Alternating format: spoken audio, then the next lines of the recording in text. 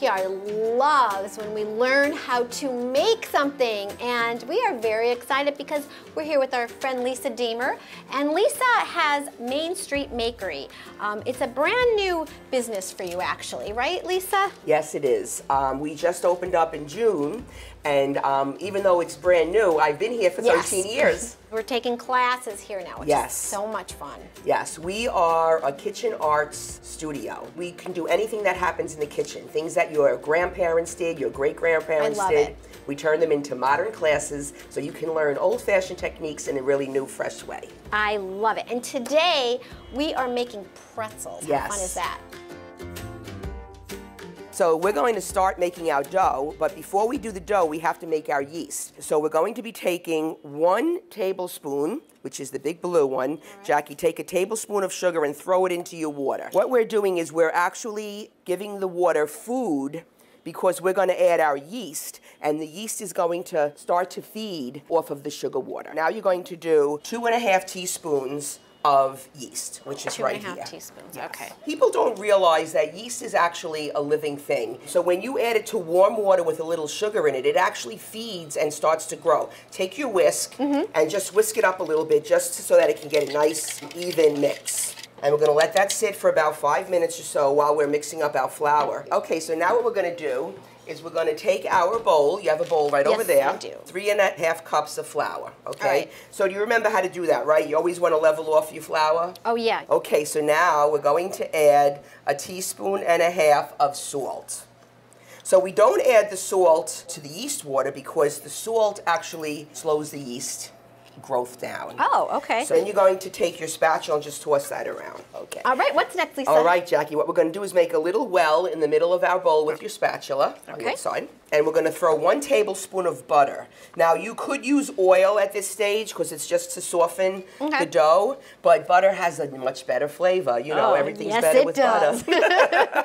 now, take your yeast. Now, do you see how high it's going to head on like a beer? So we're going to pour that right inside that well. So before we get down and dirty, we're going to take our spatula and just incorporate all of that flour. Okay. And then once it's almost gathered, you could just pick the whole ball up and throw it onto your tray because we're going to knead it now. So how we need, just plop the ball down, give it a mm-hmm. press, right, and then fold it, and then turn it, and press it with your heel.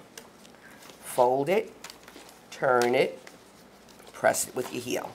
If your dough feels a little sticky, we have plenty of flour. Okay. Never want to add too much flour, okay? Because the more flour you add, the tougher the dough gets. Oh, okay. And then we're going to let it rest for five minutes, okay? And then we're going to start shaping pretzels. All right.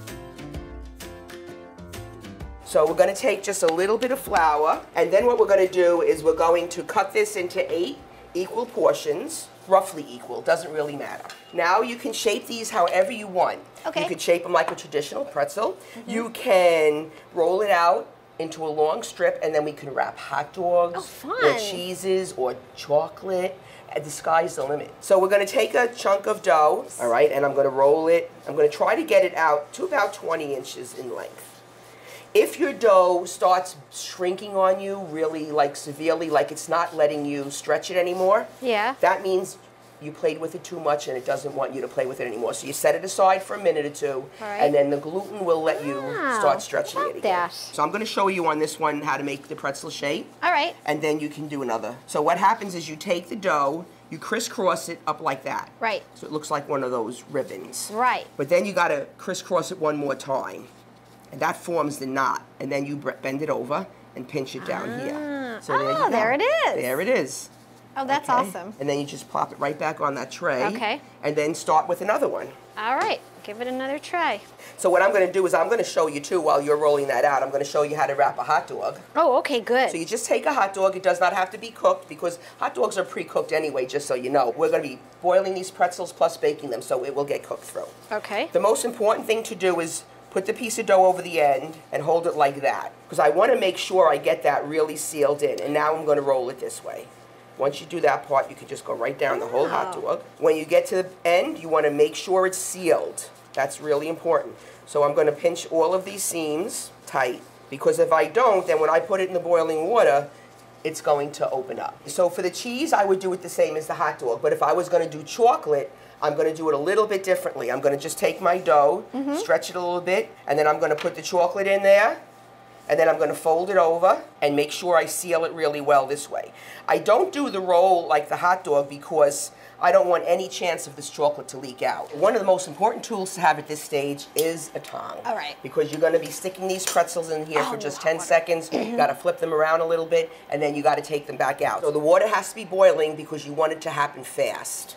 All right? Just 10 Oh, I seconds. gotcha.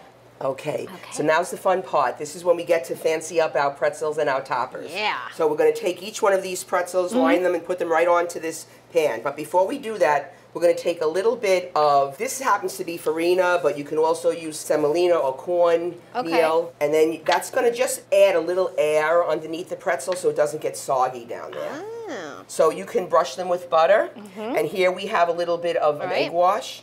So if you're going to use the egg wash, you're just going to spritz it, get the whole top wet, and then you can add your salt or bagel everything or poppy seed, whatever you would like. Okay. So we're going to pop these in a hot oven, 400 degrees, for about 10 to 12 minutes. All right, Okay. great. Let's go. All right. When we come back, Lisa shows us how to make our own mustard for dipping our pretzels.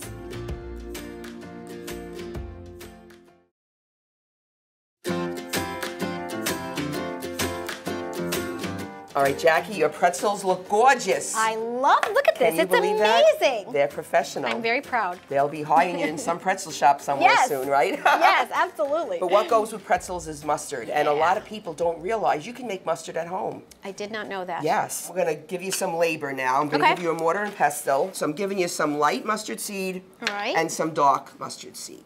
Okay? Okay. And so now you're gonna crunch those down. So the good thing about mustard um, when you're making it homemade is you can totally control the thickness and the crunchiness and whatever you like in your mustard. So there's the super simple, this is the famous mustard that you put on hot dogs and things, super smooth. Yes. Then you would just simply use mustard powder.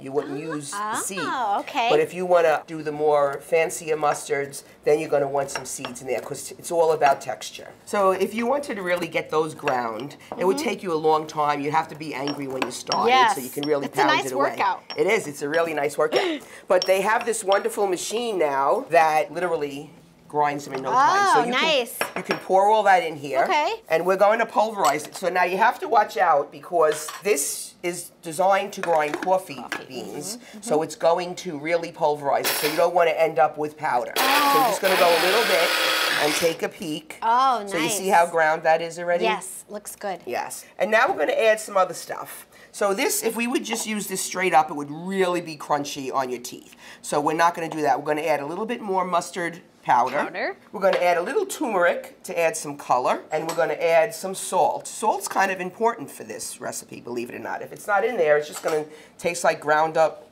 seeds, you know. No kidding. So it enhances, it brings out the flavor? It brings out the flavor. Now we're going to add some vinegar. So the vinegar, the clear white vinegar, adds a nice bite. If you want a milder mustard, then you want to go with an apple cider vinegar, wine vinegar, or any other kind of vinegar that's not as strong. Right. Going to add a little bit of honey, okay? And then this is what we do now. We add the beer to give it a little liquidness. So I'm going to use up to a quarter of a cup here. All right. So the whole thing is, is that you do want to do this a day or two before you're serving it because it does have to marry Yeah, together. yeah. All the flavors have to marry.